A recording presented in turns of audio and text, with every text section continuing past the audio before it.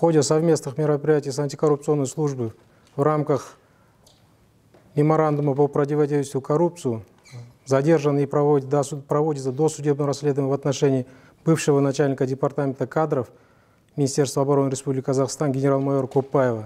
В настоящее время генерал-майор Купаев находится в распоряжении. В отношении него применена мера пресечения в виде домашнего ареста сроком на два месяца. Тут же хотел добавить, что в средствах массовой информации появилась опубликованная информация о том, что генерал-майор Купаев возглавляет Департамент кадров и военного образования Министерства обороны Республики Казахстан.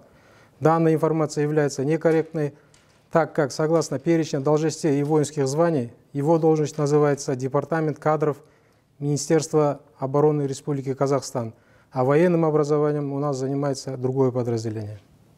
Согласно уголовного законодательства, значительным ущербом признается сумма денег, денег от 50 МРП. Э, Это э, что экви- эквивалентно э, порядке 130 тысяч тенге.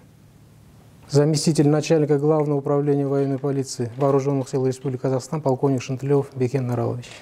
У нас совместно с антикоррупционной службой Республики Казахстан действует Система